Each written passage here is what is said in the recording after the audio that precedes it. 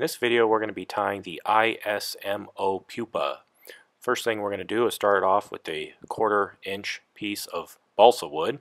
If you can find round balsa wood, that would definitely help. I can only get my hands on some square stuff. So first step is to basically round all the corners. And once we have all the corners rounded, we're going to cut an angle into the back portion of the body. And this will be kind of the tail or the, the butt of the pupa. And you just kind of want to shape it into kind of a grubby little pupa kind of shape. I will say too, it's best to start off with a uh, piece of balsa wood that's larger than you think you need. It's always easier to shave it down than it is to somehow add balsa wood back on.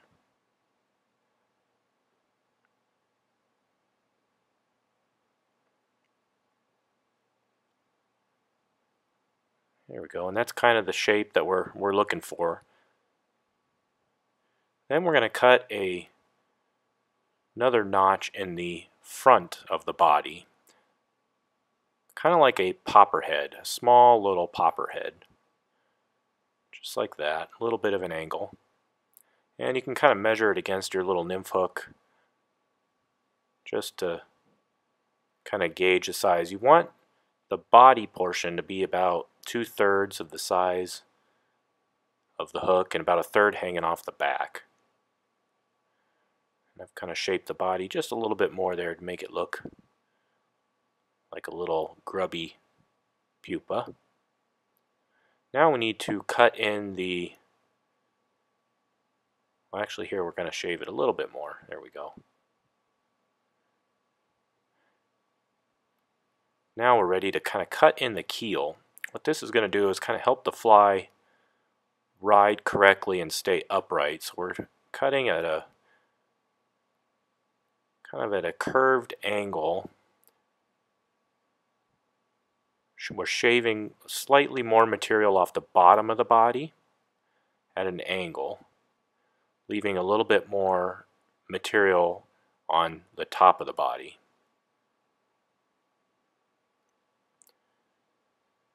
And if you need to shorten up the fly a little bit, you can shave a little bit off the front.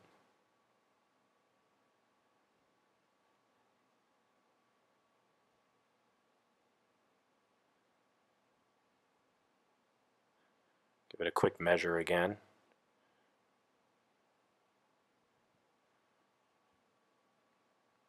Still a little bit long. So I'm just going to cut a little bit more off the front. Like I said, it's best to do this little by little until you get really proficient and good at this, and then you can do them probably a lot quicker than I'm doing them. But I take my time, slowly carving them.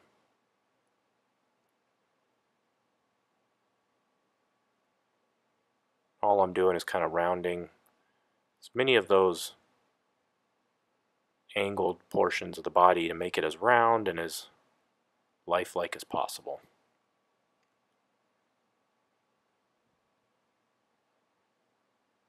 That's pretty close.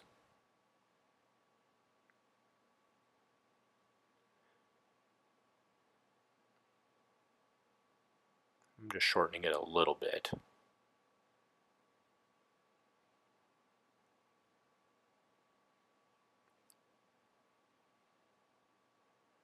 Now the next thing to do is use a, a Dremel. I like to use a small little stone. If you use a sanding attachment, that'll work too, but it'll take off a lot of balsa wood real quick. So these little stones are fine enough where it just takes off just a little bit and basically we're just smoothing the body at this point and taking out any of the kind of angled flat faces we made with the razor blade.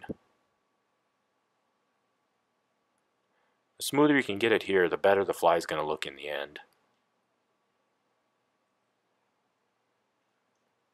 Of course, it gets smaller as you go along too, and a little bit more difficult to work with, but it's not too bad.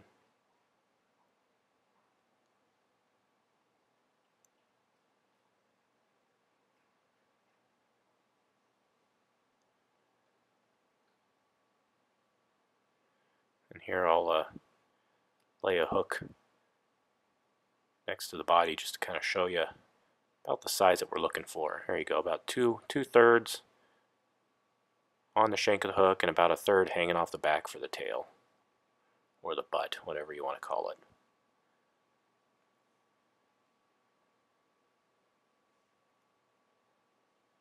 Now the next step is to cut the groove in the underside of the fly. This groove will allow us to mount it to the shank of the hook. And the groove you want to cut on the underside, which is the flatter portion, but also the narrower portion. You can see there with that keel, it's a little bit narrower on the bottom than it is up on the top of the fly. So steady fingers, steady hands for this part, you just want to cut a small little groove or a notch that's just barely large enough to slip the shank of the hook in there.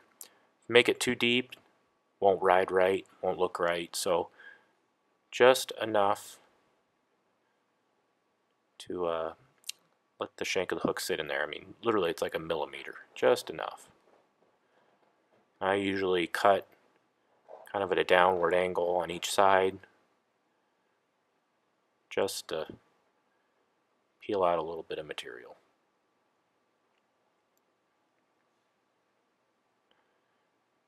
Now once you're got your groove cut, we're ready to mount it onto the hook. And we're going to start with the Daiichi. I'm using a nymph hook, a 1530, in either a size 12 or a 14. Use your little Dremel stone to just rough up the shank of the hook. This will help keep the fly from rotating, and flopping around from side to side. Gives the thread something to stick to. And we're just going to take some Veevus 8-aught thread in black, and we're just going to lay a rough, rough and bumpy layer thread, the opposite of what you do for, for most flies.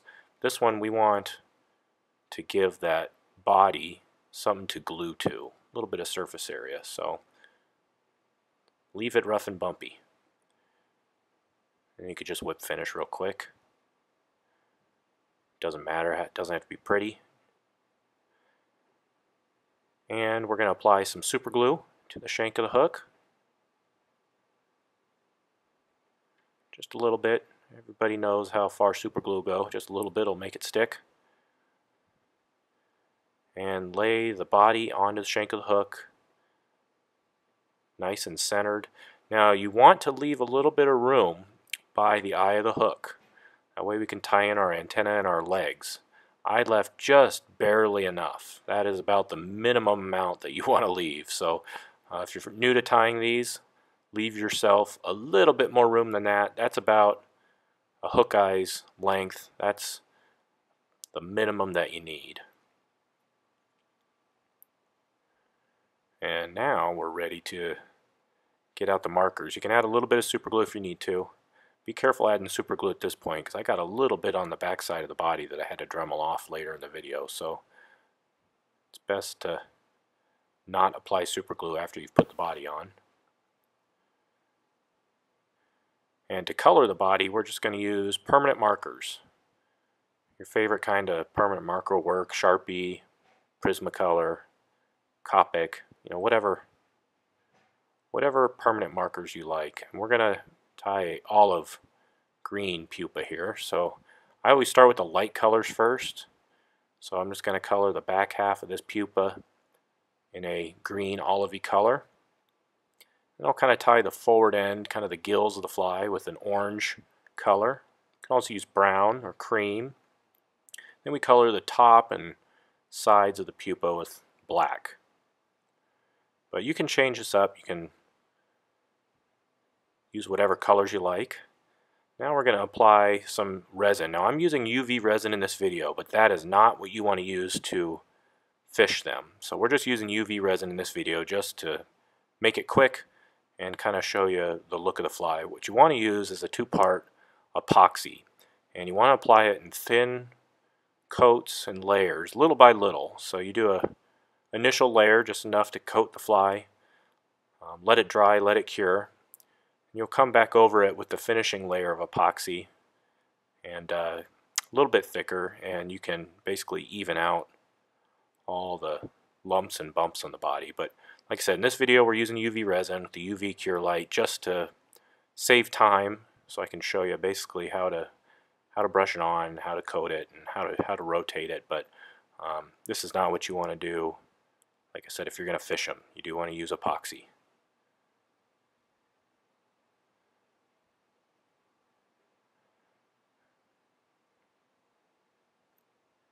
I'm just finishing up curing it real quick. And what you're looking for is a nice, glossy, smooth body. That'll help it ride nice in the water too. Also keeps the balsa wood from soaking up water. Now we're going to take our 8 Veevus thread and we're going to tie it in right up at the eye. See there I didn't leave much room. We'll get it done but do want to leave a little bit more room at home when you're tying them. We're going to take some 8 pound Maxima Chameleon. We're going to tie in the kind of the antenna first. And we're going to tie this in with a little figure eight knots here with our thread. And we're going to take this piece of Maxima as far back to the body as we can. So I'll kind of lift it up and I'll pull it back and I'll bite down with my thread.